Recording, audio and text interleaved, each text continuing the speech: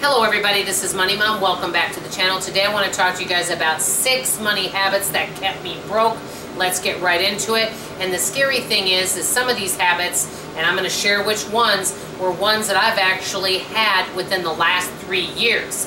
While I still had the YouTube channel, Centsible Living with Money Mom. I know that's kind of scary, but let me get into it. The first one, and I think this is a little bit to do with the last three years, is my mindset. I thought I was doing the best I could. If we think, well, we're doing the best we can, and I've heard people say this, oh, I can't do any better, I can't make any more money than I, I can, or I can't cut back anymore. I really believe this with all my heart. I say it all the time, and it's going to be kind of my tag. We can always find a way to save money. We can always find a way to make money. And I'm going to say that is in 99% of cases. There may be a few exceptions. I understand that but my mindset was keeping me broke because I didn't have a growth mindset. I had a closed mindset, and I thought I couldn't do any better than what I was, and that kept me broke. Number two, spending more as I earn more. In other words, death by a thousand cuts, and they call that the lifestyle creep. That was probably one of the worst things that kept me broke because I listen to other people. Well, Dawn, you really don't make that much money. Dawn, you make less than the average income in the area. Doesn't matter. I could have done better.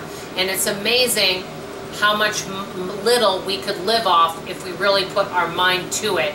Now I do understand that housing is a big part of that and sometimes you know other types of things can really infringe on that taxes and I know not everybody has the same opportunities and choices and I am aware but I do believe most people can improve their situation. Number three, and this is a big one.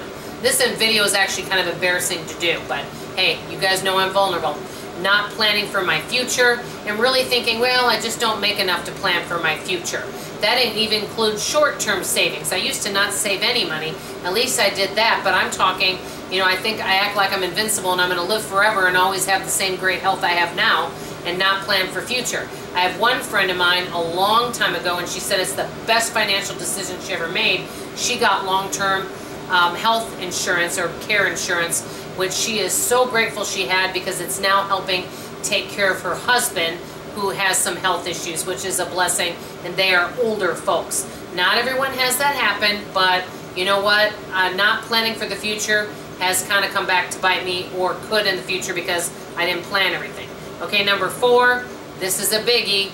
Obligations and following the crowd and just trying to fit in and do what everybody else does to be able to fit in. That means keep up with the gift giving, you know, keep up with purchasing things, you know, going doing things that I had no business doing and instead I could have been saving and I could have set myself up on a stricter budget where I did enjoy some things. For example, and I know I've already mentioned this, all the subscription services and all the auto ships and things like that, those were the things that can really add up. So obligations and feeling like I needed to say yes to people rather than no thank you. Number five, and this one was years ago, but using charge cards instead of money. Now, I didn't do this the last several years, but I did in my 20s, the early 20s. But then I put a kibosh to that, paid them off, and had not been in consumer debt with charge cards since then. Number six, not paying attention to the little things that add up. You know, like I said, oh, this is only a dollar. I used to have that attitude. Well, if you're not getting value from it, like that pair of scissors, and I should have put that in my worst money ever spent, by the way, um, not, you know, when you are spending money on something that only costs a dollar, but you're not getting value, or you're spending money on something, a food item that is cheaper or generic, but nobody eats it, you know, that's not really good money spent. These are some of the things. Now, some of the things I have to say, which have, have affected me the last, since I've been on the channel. Number one, mindset, which I am working on changing. I do have more of a growth mindset than a fixed mindset.